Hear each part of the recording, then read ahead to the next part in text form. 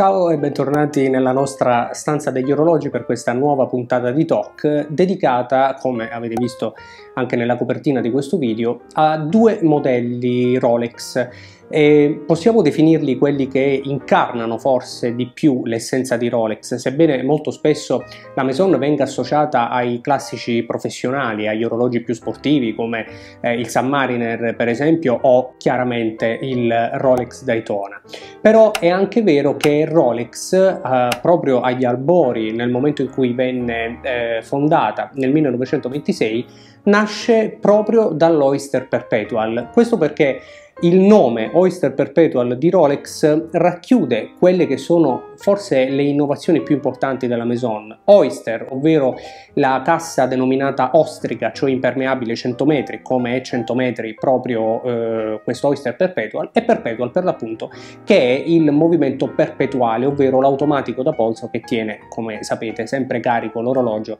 quando lo indossate. A fianco all'Oyster Perpetual c'è forse l'innovazione più importante di Rolex, il Datejust. Perché Datejust? Perché si trattava di un Oyster Perpetual eh, migliorato, impreziosito, che si trasformava da solo tempo a orologio con data e questo datario veniva posto ad ore 3 e poi verrà sovrastato dalla famosa lente ciclope per ingrandire la data come sappiamo, proprio perché aveva la possibilità di essere intravisto semplicemente alzando un poco il polsino della camicia e quindi da lì nacque Rolex Datejust che poi è anche il primo orologio da polso con la data. Insomma, al di là dei professionali Rolex, sicuramente due modelli iconici, eh, forse i più iconici, forse eh, la vera quintessenza della cassa Oyster di Rolex. E l'Oyster Perpetual per molti è sempre stato anche l'orologio perfetto e tuttofare, il daily watch per eccellenza, quell'orologio che eh, potete indossare in qualsiasi occasione, da un abito formale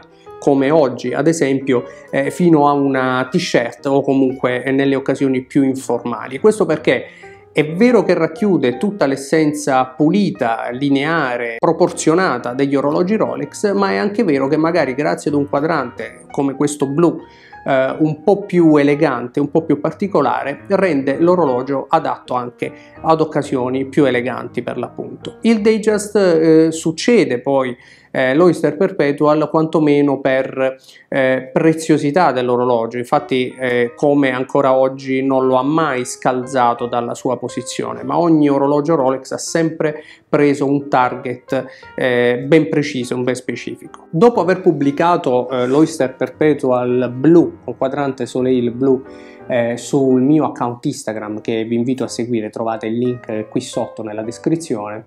Eh, in molti mi avete chiesto se eh, valesse la pena avere in collezione anche un Oyster Perpetual con quadrante Soleil Blu, avendo in collezione già un Rolex Datejust sempre con quadrante Soleil Blu e indici a bastoni. La domanda in realtà non è assolutamente banale, anzi è la prima domanda che mi sono fatto anche io nel momento in cui ho dovuto unire i due orologi all'interno della collezione e cioè capire se uno potesse o meno escludere l'altro. Beh, secondo me in assoluto no, perché sono due orologi, per quanto forse all'apparenza un po' simili, ma neanche tanto, completamente agli antipodi, proprio perché il Rolex Datejust è un orologio molto prezioso, molto particolare e anche abbastanza appariscente, l'Oyster Perpetual invece, come abbiamo appena detto, rimane il Rolex forse per eccellenza, il Rolex con il quadrante più pulito, con le proporzioni più indovinate, sebbene questo in mio possesso sia da 39 mm e per molti il 36 mm rappresenti invece la misura perfetta. Io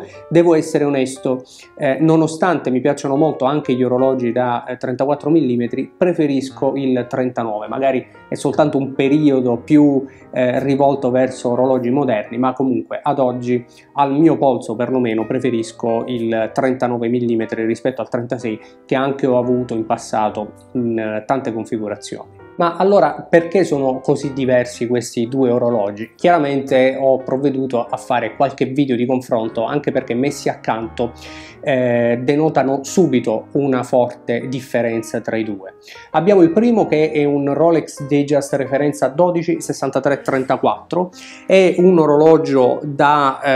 eh, 41 mm sulla carta, sebbene poi nella realtà la cassa sia di circa 39 mm, così come da 39 mm è la cassa di questo Oyster Perpetual referenza 114300 che è la referenza precedente all'ultima, la 124300 e che ha delle piccole differenze nel quadrante e chiaramente nel movimento perché il nuovo monta il calibro 3230 con varie migliorie tra cui la riserva di carica.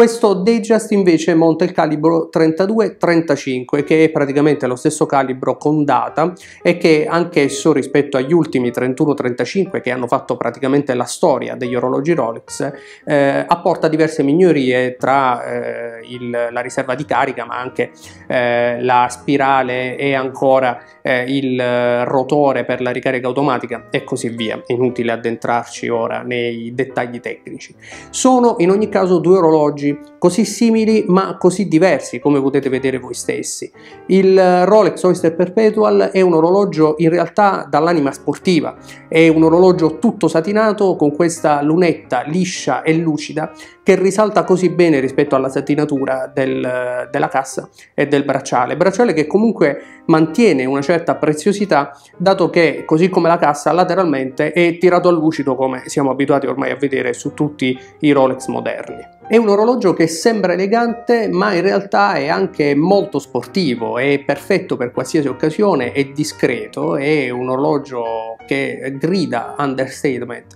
e eh, probabilmente è il vero Rolex, il Rolex che chiunque potrebbe acquistare e tenere per tutta la vita senza acquistare nient'altro perché davvero può essere perfetto per qualsiasi occasione. Dall'altra parte abbiamo il Rolex Datejust 41 per l'appunto che ha dimensioni molto simili ma che è enormemente più prezioso e più elegante dell'Oyster Perpetual a partire dal bracciale Jubilee chiaramente con le maglie centrali lucide eh, ma anche arrivando alla cassa che è tutta lucida e che contrasta in maniera così forte con la satinatura laterale del bracciale e fino ad arrivare poi alla lunetta in oro bianco zigrinata che chiaramente sotto la luce del sole soprattutto è un elemento molto vistoso, molto particolare e che insieme a tutti gli altri elementi dell'orologio, tra cui anche la lente ciclope, rende quest'ultimo estremamente riconoscibile per ciò che il Datejust di Rolex è sempre stato. Insomma, due orologi davvero simili all'apparenza ma che come sono sicuro abbiate eh, notato a colpo d'occhio anche voi in questo video mettendoli a confronto, in realtà sono agli antipodi. Un orologio sportivo un vero sportivo, contro un vero elegante, il Rolex Oyster Perpetual contro il Rolex Datejust. Io eh, in questo video ho voluto mettere in risalto alcune delle differenze più importanti che si notano eh, secondo il mio punto di vista, però come sempre vorrei sapere la vostra nei commenti qui sotto. Fatemi sapere quale dei due preferite e quale dei due scegliereste se eh, doveste prenderne soltanto uno, magari anche per capire qual è l'utilizzo poi che intendereste farne. Io come sempre vi ringrazio eh, per essere stati con me anche in questo video, se volete iscrivetevi, come sapete sapete è gratuito, noi ci vediamo invece qui su TOC in una prossima puntata. Ciao!